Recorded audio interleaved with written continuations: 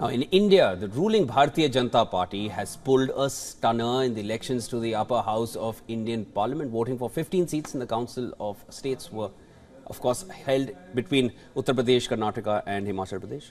Right, and this was on Tuesday. That's the three state assemblies. The BJP won 10 out of the 15 seats, which is two more than expected. Hmm.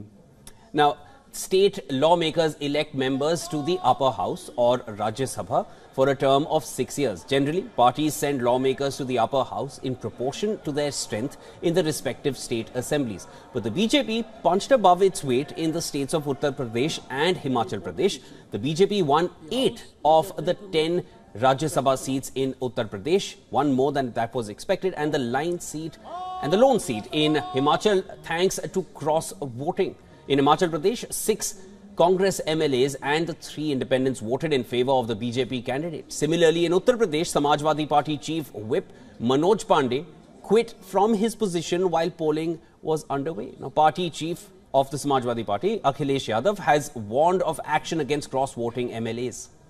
In Karnataka, then the results came out as predicted with the Congress bagging three out of the four seats and the BJP winning one.